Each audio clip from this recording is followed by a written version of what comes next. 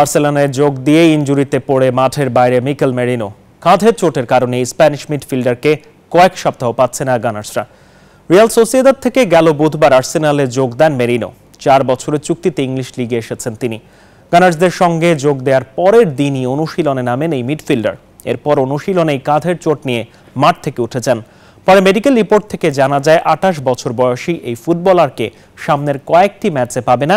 premier লিগের গেল দুই আসরে রানার্স আপরা লিগে ব্রাইটন অ্যান্ড হোভ অ্যাভিল অ্যালবিয়ানদের মুখোমুখি হওয়ার আগে সংবাদ সম্মেলনে মেরিনোর চোট নিয়ে হতাশা প্রকাশ করেন আর্সেনাল কোচ মিকেল আর্তেতা